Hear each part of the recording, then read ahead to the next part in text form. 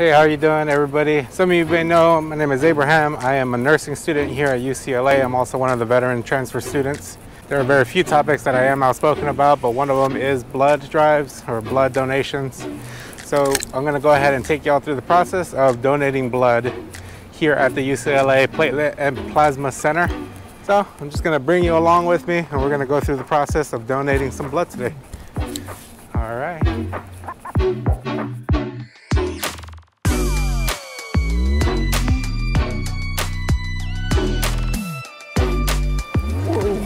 So I just got done filling out the application and oh my God, did I forget how long this thing was.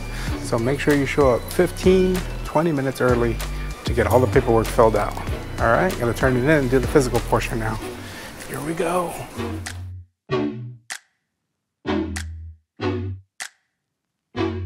And so we're trying to encourage more people to come Please. donate. Yeah. so much. Yeah. And so we're, we're making like a little Video. video like YouTube or so I'm just see it's just as easy. Like just sit here, donate blood and then that's it.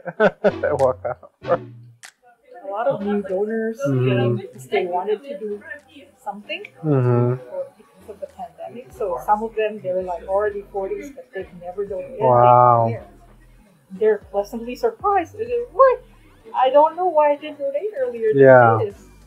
And I said that's that's the thing. A lot of people have preconceived notions of hmm donation that it hurt.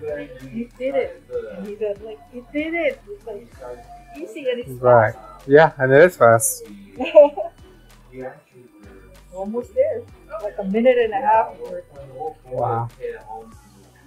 and I always say the waiting is longer than the actual draw. Right. In and out. And now you're done. Oh wow. That's it. That's it. Five, bad at all. Hey, nice. That's fast. Still flowing. Okay. I want to show the needle because that might scare some people.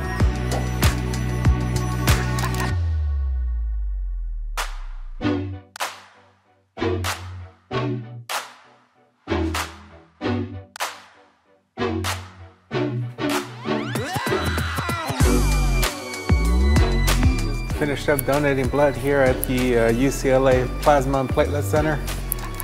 And that's it. It was as easy as that. All right, well, donate.